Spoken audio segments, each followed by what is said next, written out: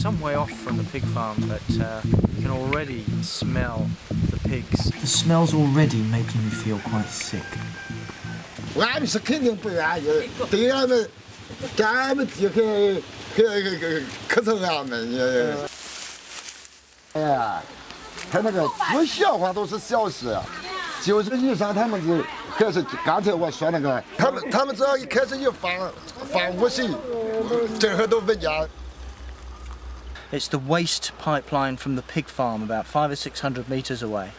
And uh, there's a thick, bubbly soup in here. It looks like this pipe is leaking.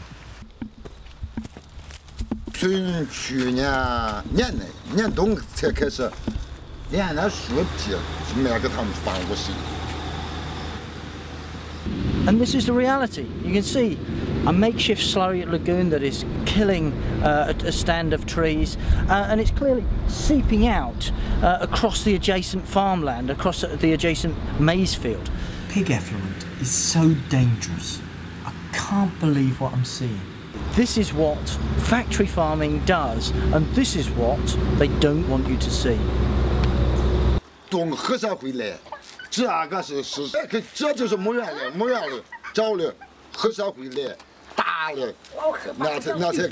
And the sad thing is that despite all of this impact, the, the farm does not employ any of these local people. This is not an isolated incident. This is something which goes on probably up and down this country and across the world.